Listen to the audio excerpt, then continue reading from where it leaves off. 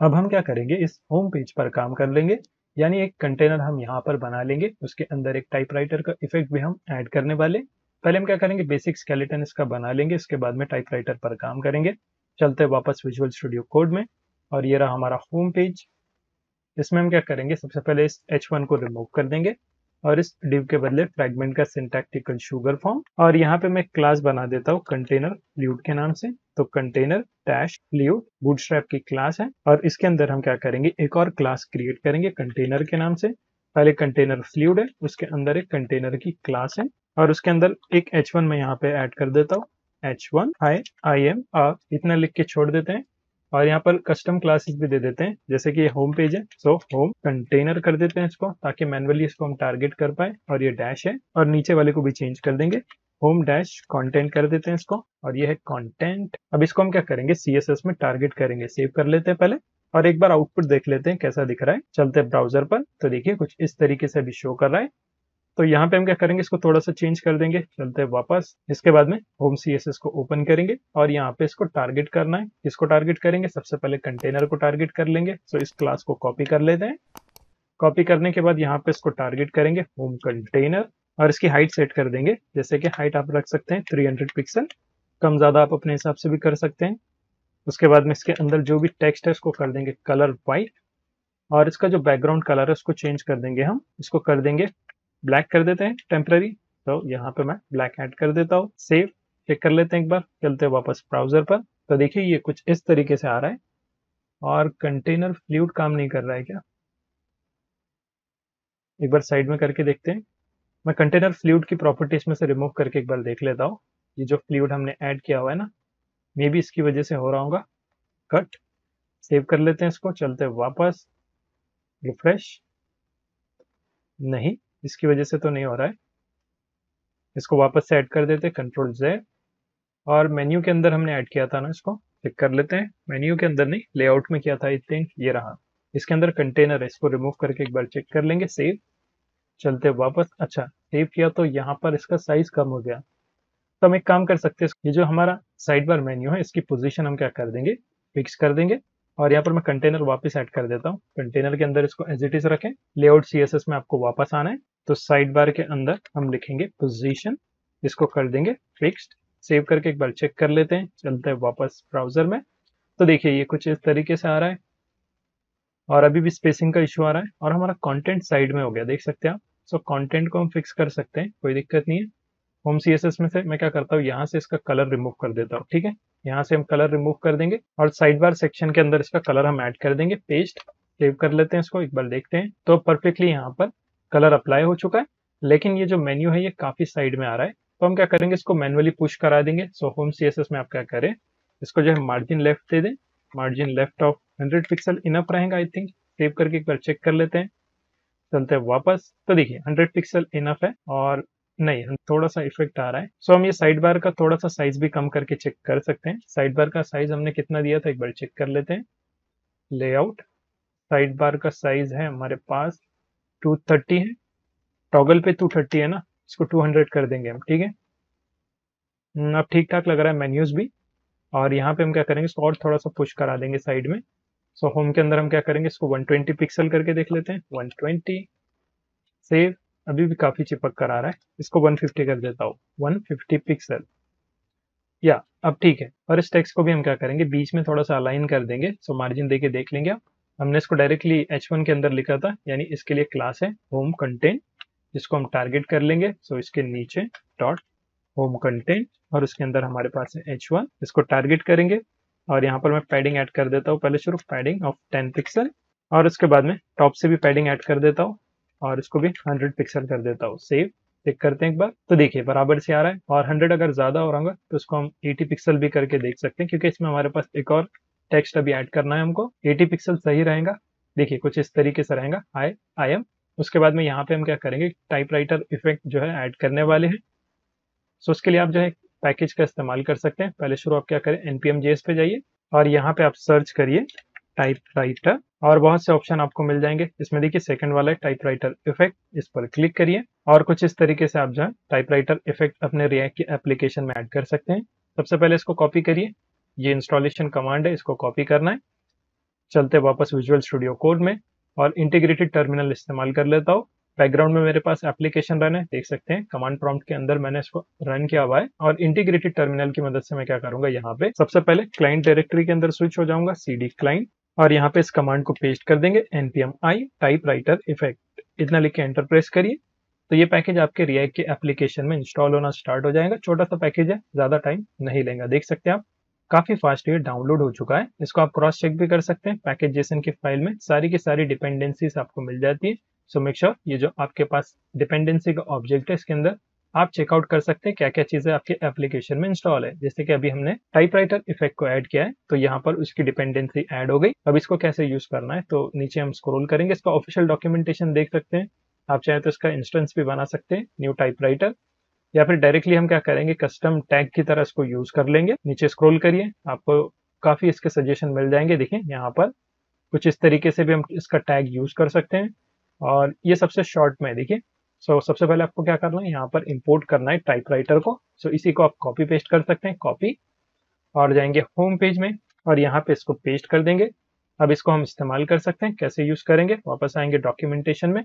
और ये टाइपराइटर का जो भी टैग है ना इसको कॉपी कर लेंगे। कॉपी करने के बाद यहाँ पर एक H2 ले लेता हूँ मैं H2 और इसके अंदर इसको पेस्ट कर देंगे सेव तो अभी फ़िलहाल हमको हेलो वर्ल्ड यहाँ पर शो होना चाहिए। चलते वापस एप्लीकेशन में। ये रही हमारी एप्लीकेशन तो देखिए, यहाँ पे हेलो शो कर रहा है और वर्ल्ड भी यहाँ पर बराबर से शो कर रहा है। तो इसमें हम क्या करेंगे? स्ट्रिंग जो है चेंज कर देंगे। जैसे कि हेलो के बदले हम क्या करेंगे? यहाँ पर रिएक्ट जेएस या फिर डायरेक्टली फुल स्टैक कर देते हैं हम। फुल स्टैक डेवलपर उसके बाद में मॉन स्टैक कर देंगे। मॉन स्टैक डेवलपर और साथ ही में एक और स्ट्रिंग मैं यहाँ पे बना लेता हूँ। रिएक्ट नेटिव डेवलपर सेव करके एक बार देख लेते हैं कैसा दिख रहा है। तो तीन स्ट्रिंग हमने ऐड कर दिया। इसका कलर भी आप चेंज कर सकते हैं। ऑटो स्टार्ट का मतलब क्या है कि इनिशियल टाइम पे जो है टाइपराइटर इफ़ेक्ट हमको प्रोवाइड करेगा। आप चाहें तो इसको कंडीशनली भी कर सकते हैं। ऑटो स्टार्ट में आप अपनी कस्टम वैल्यू या फिर इंटरवल फ़ंक्शन का भी यूज़ कर सकते हैं।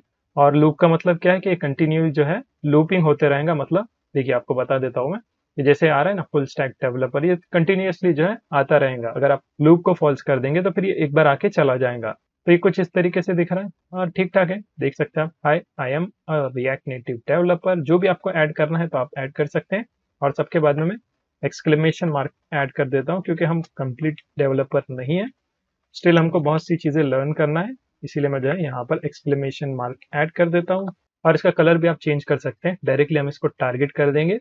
और यहाँ पर देखिए H2 है ना? सो so, ऑलरेडी हमने H1 के लिए किया था। इसी को कॉपी पेस्ट कर लेंगे। कॉपी पेस्ट H1 के बदले H2 और इसका कलर हम चेंज कर देंगे। सो so, यहाँ से आप कलर की प्रॉपर्टी एक्सेस कर सकते हैं और इसमें कलर कर देंगे येलो सेव कर लेते हैं इसको। या फिर मैं हेक्स कलर यूज़ कर लेता हूँ। T zero B five zero F save कर लेते हैं इसको। चलते वापस एप्लीकेशन में।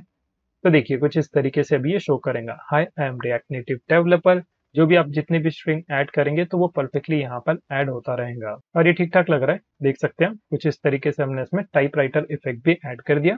और यहाँ पे हमारे पास स्क्रोल इफ़ेक्ट भी आ रहा है। तो हम क्या करेंगे, इसको फिक्स कर लेंगे पहले शुरू। आई थिंक यहाँ पे हमने क्या किया है मार्जिन लेफ़्ट 150 पिक्सल किया, इसीलिए स्क्रोल इफ़ेक्ट देखने मिल रहा है। इसको कमेंट आउट कर देते हैं पहले सेव और एक बार देख लेंगे, चलते हैं वापस। तो देखिए, अब ये शो नहीं कर रहा है स्क्रोल इफ़ेक्ट मगर हमारा कंटेंट जो है ना, वो पूरी तरह से विजिबल नहीं हो रहा है। तो हम क्या करेंगे? ये जो मार्जिन लेफ़्ट है ना, इसको यहाँ से कट करके मैं एच वन और कमेंट भी अनकमेंट कर देंगे पहले शुरू इसको। और ये दोनों में मैं ऐड कर देता हूँ, ठीक है? यहाँ पे H1 और H2 के अंदर हम ऐड कर देंगे और पैडिंग भी ऐड कर देते हैं, ठीक है? कॉपी H2 में भी पैडिंग ऐड कर देंगे सेव चेक कर लेते हैं एक बार, चलते हैं वापस एप्लीकेशन में। तो देखिए, अब बराबर से शो कर रहा है। और कोई भी हमारे पास स्क्रोल इफ़ेक्ट यहाँ पे देखने नहीं मिल रहा है। अब हम क्या करेंगे? यहाँ पर बटन्स भी ऐड कर देंगे और इसके बीच में थोड़ा सा गैप ज़्यादा हो रहा है H2 के बीच में। सो आई थिंक पैडिंग इसको कर देंगे फाइव पिक्सल ठीक रहेगा। फाइव पिक्सल और यहाँ से भी फाइव पिक्सल कर लेते हैं इसको सेव चलते वापस एप्लीकेशन में तो अब ठीक ठाक लग रहा है। अब यहाँ पे हम क्या करेंगे? दो बटन्स पे ऐड कर देंगे तो उसके लिए आप क्या करें? एक न्यू डिव बना दें इस H2 के बाद में। और इसका नाम मैं रखता हूँ बटन ग्रुप, या फिर होम बटन कर देते हैं इसको। होम डैश बटन एक डिव बनाया, उसके अंदर एक बटन ले लेंगे हम नॉर्मल बटन ले लेते हैं बटन और इसका नाम हम रखेंगे हायर मी और इसके अंदर क्लास भी ऐड कर देंगे तो आप लिखेंगे यहाँ पे क्लास नेम बूटस्ट्रैप का बटन बना देते पहले बीटीएन की क्लास उसके बाद में बीटीएन डैश हायर इसको कस्टम हम टारगेट करने वाले हैं। इसके बाद में हम क्या करेंगे, एक और बटन ले लेंगे, इसी को आप कॉपी पेस्ट कर सकते हैं, और इसका नाम हम रखेंगे बटन डैश सीवी इसमें हमारा हम रिज्यूम रखेंगे और यहाँ पे उसका नाम रख सकते हैं माई रिज्यूम सेव कर लेते हैं इसको और एक बार देख लेंगे कैसा दिख रहा है, चलते वापस एप्लीकेशन में और कुछ इस तरीके से आ रहा हाँ इसमें भी हमको अप्लाई करना पड़ेगा सीएसएस पहले क्योंकि ये भी साइड में चिपक कर आएगा सो इसको हम टारगेट कर लेंगे यहाँ पे dot home button margin left इसमें भी ऐड कर देंगे तो आपको लिखना है margin left of 150 pixel save चलते वापस एप्लीकेशन में तो देखिए कुछ इस तरीके से आ रहा है। अब इसको बटन भी बना लेंगे हम। तो यहाँ पे आप बैकग्राउंड कलर्स भी ऐड कर सकते हैं। डायरेक्टली हम क्या करेंगे? पहले शुरू माई बटन को टारगेट करेंगे और उसके अंदर हमारे क्लास है BTN dash hire first button है हमारा हायर के लिए, इसीलिए हम क्या करेंगे, उसको टारगेट कर लेंगे और इसमें बैकग्राउंड कलर चेंज कर देंगे। बैकग्राउंड कलर और इसको ब्लू कलर दे देता हूँ मैं तो इसके लिए मैं हैश कलर यूज़ कर रहा हूँ। Hash three B eight F F three और जो इसका फोर कलर है, उसको हम कर देंगे व्हाइट या फिर फोर कलर ऑटोमेटिकली व्हाइट ही रहेगा, फिर भी हम एडिशनली इसमें ऐड कर देते हैं और इसकी विड पे ऐड कर देंगे। इसको कर देता हूँ मैं। 160 पिक्सल सेव एक बार देख लेते हैं कैसा दिख रहा है। तो देखिए, कुछ इस तरीके से ये आ रहा है।